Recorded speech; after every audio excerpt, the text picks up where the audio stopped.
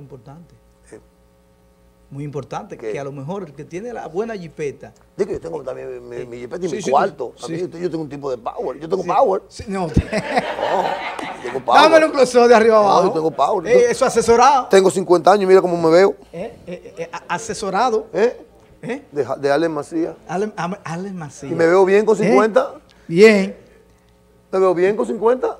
Sí, ¿No me veo bien? Excelente. Yo tú y yo estamos caco con caco. Eh, no, no, no, no, o sea, ¿Le bajo algo? Pero no, déjame yo pararme porque Pila Zully también me asesora. Un poquito más alto, Michael, te hacía más pequeño.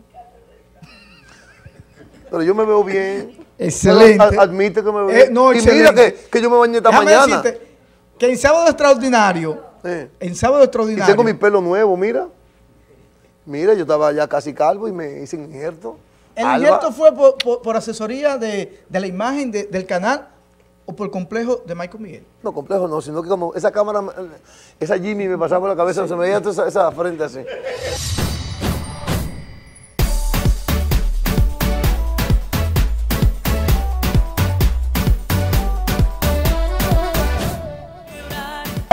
Eh, esa fue una visita que nos hizo Michael Miguel hace unos años.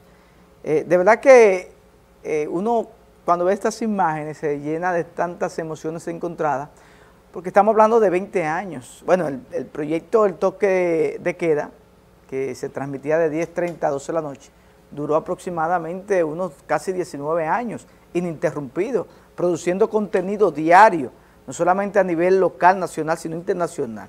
Gracias, Papá Dios, siempre hemos tenido un programa, o hemos producido programas de contenido de corte nacional, eh, veloz. Pero ahora estamos en una nueva temporada. Así que, Que ya casi va para un año. sí, esta nueva temporada, bueno, yo creo que este año no podemos contarlo, eh, veloz. Este año yo, yo, lo, yo lo voy a poner en cero, en 2020.